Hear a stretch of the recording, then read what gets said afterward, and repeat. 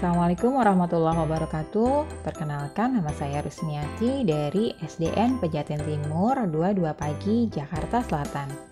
Saat ini kita sedang menghadapi pandemi COVID-19. Kegiatan pembelajaran yang biasanya dilakukan di sekolah kini untuk sementara dilakukan dari rumah. Hikmah dari situasi ini adalah bahwa belajar bukan hanya dilakukan di sekolah saja, namun, dengan perkembangan teknologi, belajar bisa dilakukan secara mandiri, di antaranya dengan portal Rumah Belajar. Belajar bisa di mana saja, kapan saja, dan dengan siapa saja.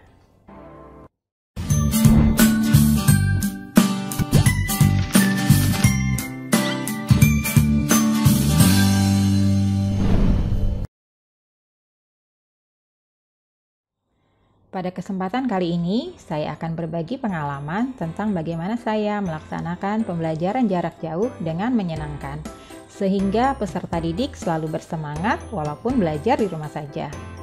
Bagaimana keseruannya? Yuk, kita simak video berikut ini.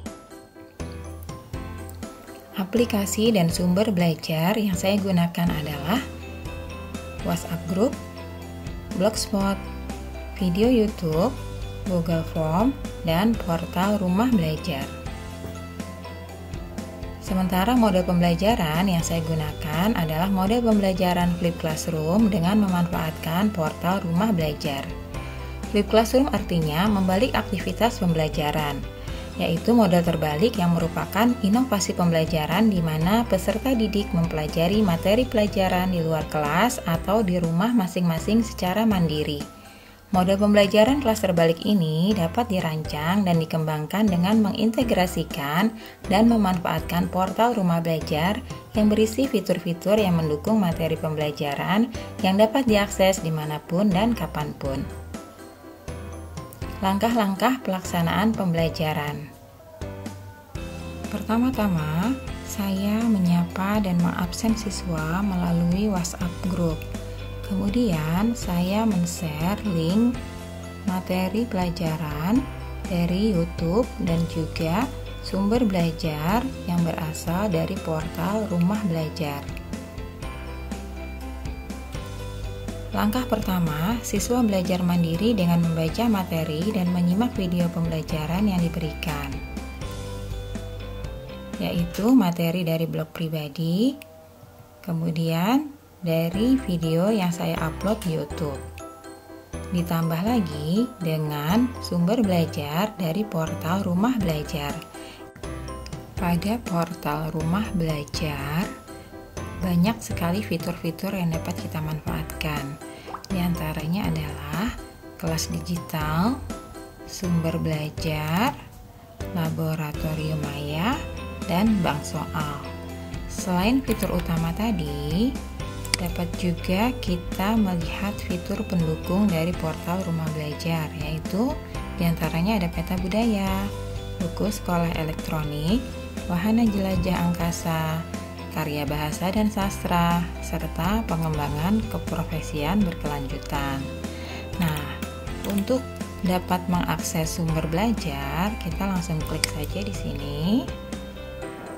Kita akan masuk ke jenjang pendidikan kita klik SD nah di sini ada semua kelas.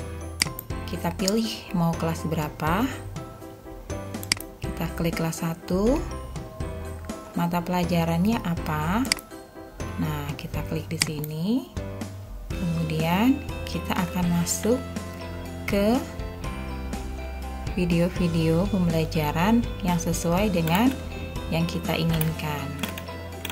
Mudah bukan?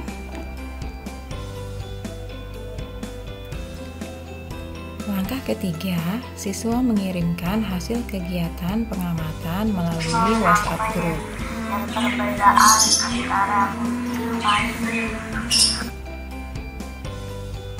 Berikutnya, siswa mempresentasikan hasil dari pembelajaran yang diperolehnya dari materi dan video yang telah dibagikan.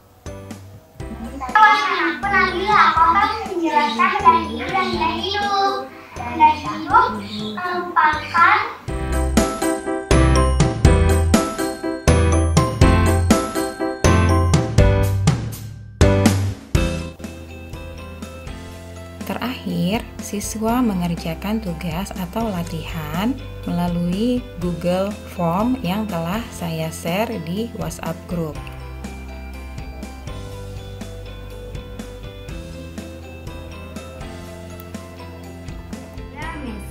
Saya kelas 1 SDN Pejaten Timur 22 Jakarta.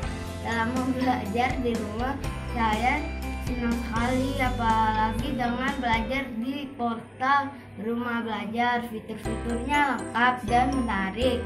Dengan portal rumah belajar belajar kapan saja di mana saja dan dengan siapa saja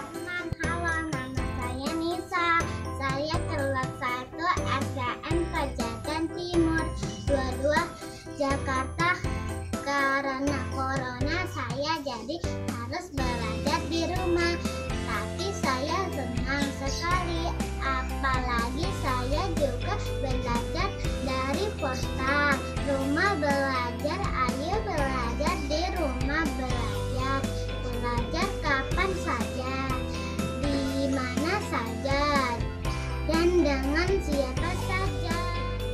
dengan memanfaatkan fitur-fitur yang ada di rumah belajar, belajar menjadi lebih mudah dan asik. Selain itu, portal rumah belajar gratis loh. Jadi, mari kita manfaatkan portal rumah belajar. Belajar di mana saja, kapan saja, dan dengan siapa saja. Thank you